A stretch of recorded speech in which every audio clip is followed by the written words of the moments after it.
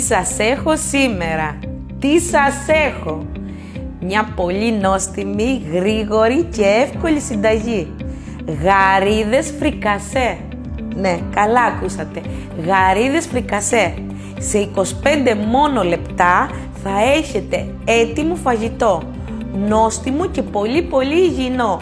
Αλλά πάμε γρήγορα να δούμε τη συνταγή μας.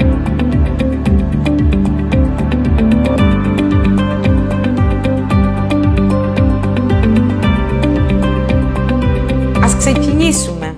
Το φαγητό μας όλο θα γίνει σε μία κατσαρόλα. Έτσι, απλά και γρήγορα. Θα ανοίξουμε το μάτι και θα βάλουμε εξαιρετικό παρθένο ελαιόλαδο. Θα αφήσουμε να ζεσταθεί και θα ρίξουμε μέσα τις γαρίδες μας για να τις σοτάρουμε. Εδώ έχουμε εξαιρετικές καθαρισμένες γαρίδες καλυμάνι, τέλειες γαρίδες άμεσα κατεψυγμένες. Θα τις ρίξουμε στην κατσαρόλα.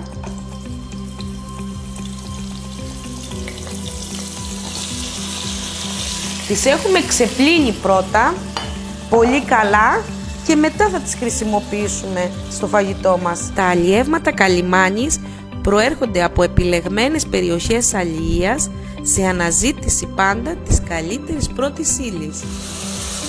Οι γαρίδες μας θέλουν μόνο δύο λεπτάκια θα τις αφήσουμε, διότι στη συνέχεια θα τις ξαναβάλουμε στο φαγητό. Τώρα θα τις βγάλουμε, διότι δεν θέλουμε να ψηθούν πάρα πολύ, θα σκληρύνουν οι γαρίδες αν ψηθούν πάρα πολύ. Τέλεια. Στο λαδάκι τώρα εδώ που είναι αρωματισμένο από τις γαρίδες μας, θα ρίξουμε ένα ξερό κρεμμύδι ψιλοκομμένο, ένα πράσο, το πράσο να το προτιμάτε στα φαγητά σας διότι δίνει μία ιδιαίτερη γλύκα στο φαγητό. Θα ανακατέψουμε έτσι να γυαλίσει και να βγάλει τα αρώματά του, να μαλακώσουν το κρεμμύδι και το πράσο. Και τώρα θα βάλουμε μέσα φρέσκα κρεμμυδάκια ψιλοκομμένα, άνηθο και ένα μαρούλι που το έχουμε ψιλοκόψει. Θα προτιμήσετε να βάλετε την καρδιά του μαρουλιού για να είναι ε, δροσερό και νόστιμο μέσα στο φαγητό μας. Ανακατεύουμε.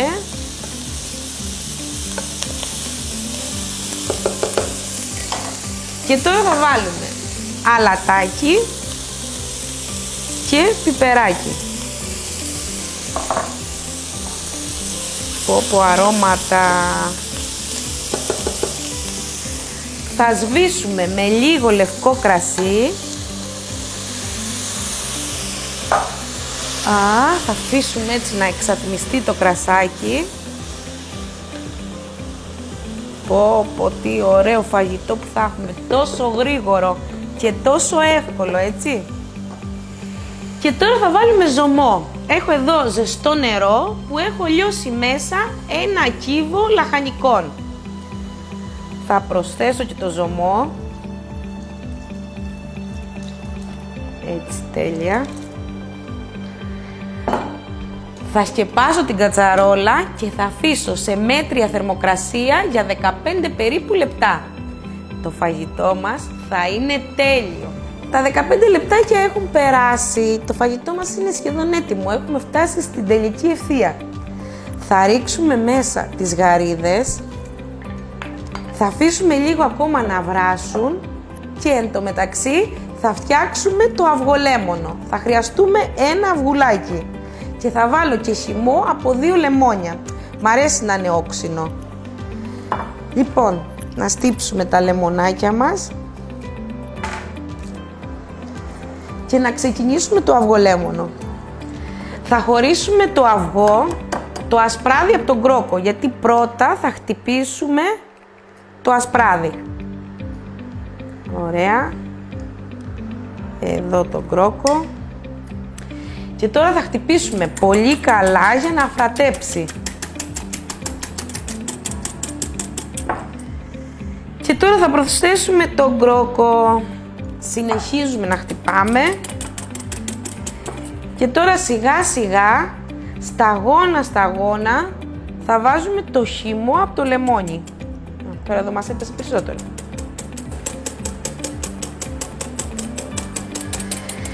Τώρα θα κλείσω τη θερμοκρασία και θα αρχίσω σιγά σιγά να παίρνω ζωμό από το φαγητό και θα προσθέτω μέσα στο αυγό, σιγά σιγά. Θα ανακατεύουμε συνεχώς, έτσι να μην μας ψηθεί και το αυγό. Πω, πω,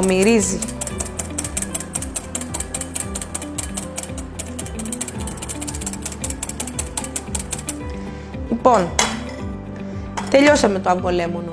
Τώρα τι θα κάνουμε, θα περιχύσουμε το φαγητό μας. Έτσι πολύ ωραία να βγάλουμε όλο το αυγολέμονο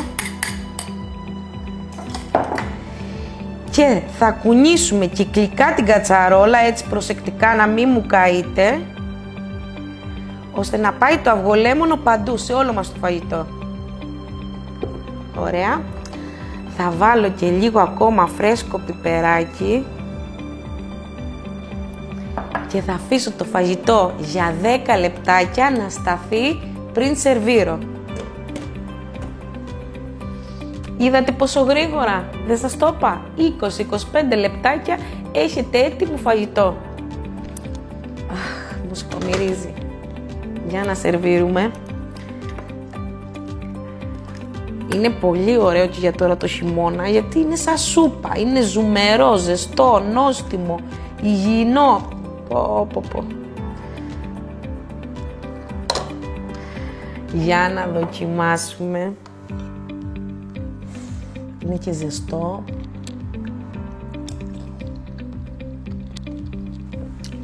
Mm.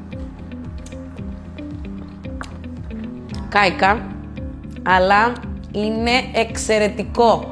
Βάλτε και λίγο παξιμάδι μέσα και θα γίνει χαμός. Θα αρέσει σε όλους, είμαι σίγουρη. Και στα παιδιά σας, αλλά και στους φίλους σας. Λοιπόν, αυτή ήταν η συνταγή μας. Εύχομαι να τη φτιάξετε και να την απολαύσετε. Και μην ξεχνάτε να κάνετε εγγραφή στο κανάλι μας, να πατάτε το καμπανάκι για να μας ακολουθείτε σε κάθε νέα συνταγή.